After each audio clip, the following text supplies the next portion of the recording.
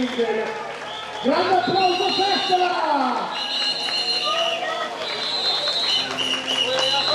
Ed eccoci quindi cosa di essere il gruppo, tutti i protagonisti di questa giornata